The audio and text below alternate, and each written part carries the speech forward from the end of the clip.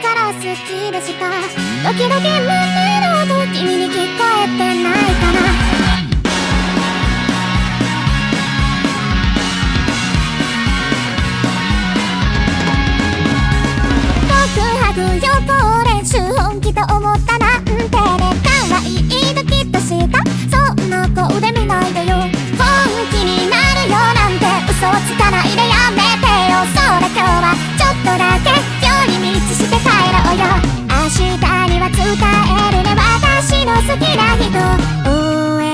援してよね。約束して。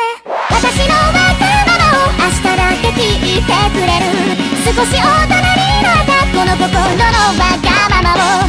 本気に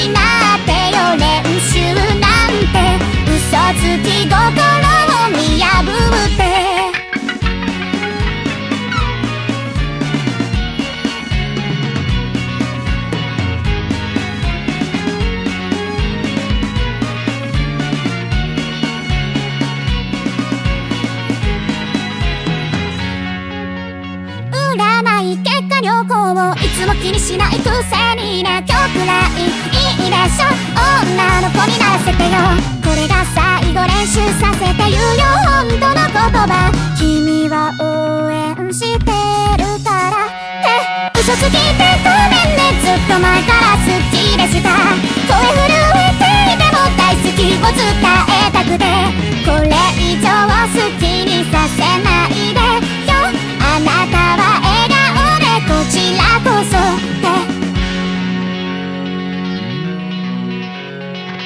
キドキ胸の音君に聞こえてないかな？ドキドキ胸の声君に聞こえてほしいの？